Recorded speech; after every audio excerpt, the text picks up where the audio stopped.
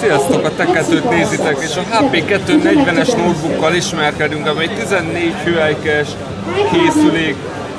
Itt a Computex 2014-en találkoztunk vele. Hozza a HP mostani letisztult design világát, amikor is a fedlap teljes egészében mat, és eléggé kis masszív anyagból készült, bár sima műanyag, de tényleg elég ellenállónak tűnik, bár azért látszik, hogy van már rajta néhány karc magát a gépet, hogyha felnyitom, látható, hogy milyen ez a maximális szög, amiben hátrahajtható a kijelző, ami 14 hüvelykes, a mat keret átlagos vastagságú, felül van kameránk, visszajelzőerünk, illetve egy mikrofonunk, illetve bár sajnos nincs érintőpanel, ennek ellenére fényes felületű lett a kijelző, amint láthatjuk.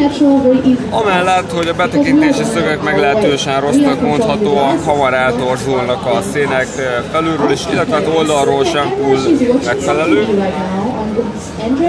A gép alját nézzük, van egy félig meddig mattított műanyag házunk, a touchpad sűjesztve van, viszonylag kisméretű, főleg így, hogy különálló gombokat kapott, amely ráadásul fényes is, ez annyira nem tűnik igazából jónak.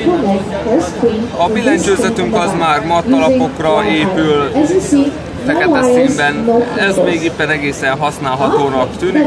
Bár sajnos, ahogy a HP-tól megszokhatok, itt is eléggé el vannak dugva a kurzormozgató gombok, amit látható jobbra-balra normális méret, viszont egy gomba van sűrítve a felé, illetve lefele gomb. Bekapcsoló gomb ide felülre került, illetve ami még csúnya itt a felső rész, ami fényes, nem igazán illik bele szerintem az összképbe. Oldalról megnézve a gépet, itt is félig meddig van csak matítva a műanyag. A 14 szolos gép kapott egy DVD írót, van kettő darab usb -nk. a gép elején van egy SD kártyaszlotunk, illetve utána innen látszik, hogy annyira nem vékony a masina. Ezen az oldalon pedig van két visszajelző ledünk, combo audio csatlakozónk, egy USB-nk, RE45-ünk, HDMI-nk, VGA-nk, illetve itt találunk egy hűtőnyílás, mellette van a távcsatlakozó. A gép alján, amint látható, kivehető az akkumulátor, de máshoz nagyon nem férünk hozzá, tehát nincs más panel, csak hangszóró van itt alul a csuklótámasz alatti részen. Ha megnézzük a masinát, hogy milyen hardware rendelkezik.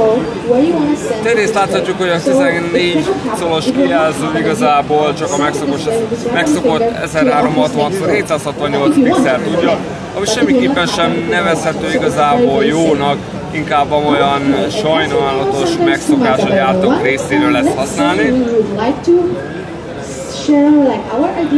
Ez a készülék, ahogy látom, egy terabájtos merevlemezzel rendelkezik